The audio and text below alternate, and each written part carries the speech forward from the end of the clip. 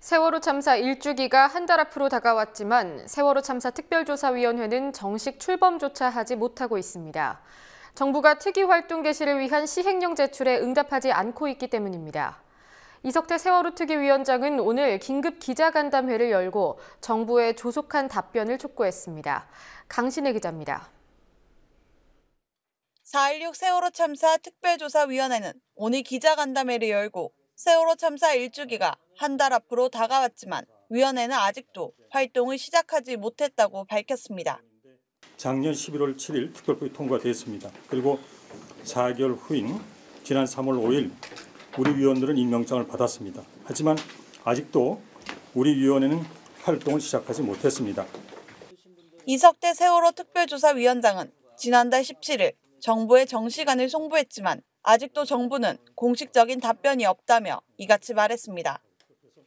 지난달 17일 당시 세월호 특별조사위 설립준비단은 위원회의 규모를 120명과 192억 원으로 정한 예산과 시행령안 등을 정부, 해양수산부와 기획재정위에 제출했다고 밝혔습니다.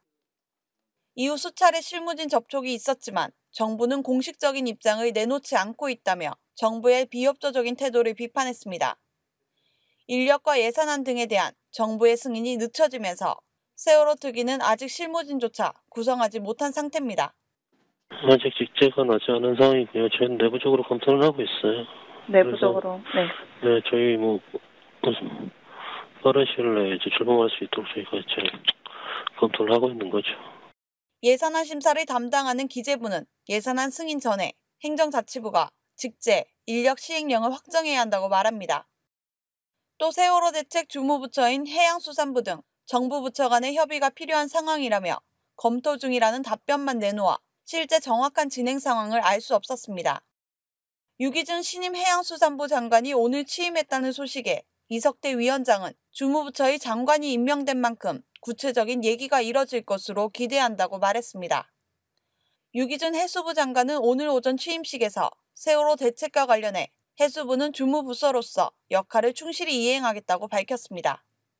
그런 유 장관은 세월호 인양에 대해서는 말을 아꼈고 세월호 특위 출범에 대해서는 언급조차 하지 않았습니다. 앞서 청와대 정무특보로 임명된 김재원 새누리당 의원은 세월호 특위를 세금 도둑, 탐욕의 결정체라 비난하는 등 흠집 내기를 서슴지 않았습니다. 오늘 4월 16일 일주기 전 세월호 특위가 출범할 수 있도록 정부가 조속히 협조해야 한다는 목소리가 높아지고 있습니다. 국민TV 뉴스 강신혜입니다.